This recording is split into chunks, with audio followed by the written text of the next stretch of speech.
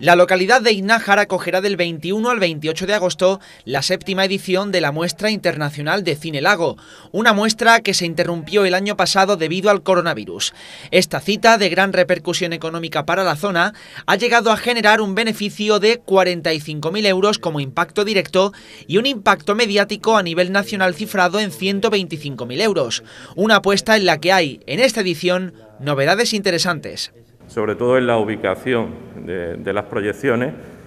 Vamos a mantener eh, esa proyección en el castillo, vamos a mantener esas proyecciones en los distintos rincones de, nuestro pueblo, rincones todos ellos con muchísimo eh, encanto y este año pues vamos a, poner en valor un nuevo edificio en nuestro municipio, que es la nueva caseta municipal. El cartel de esta edición recoge películas como Las aventuras del príncipe Ahmed de Lotte Reiniger, Mujereando o una selección de cortometrajes del Festival de Cine Independiente de Linares, Cine No Visto. Se ha presentado en la Diputación de Córdoba, institución que subraya la importancia de la muestra para la provincia el trabajo que se está haciendo por parte del Ayuntamiento, por parte de todo el equipo de Gobierno, para desarrollar y sacar frutos de todas esas potencialidades que tiene este municipio de la subbética cordobesa. Un pueblo que, en el que podemos encontrar patrimonio, cultura, donde podemos encontrar naturaleza, donde podemos desarrollar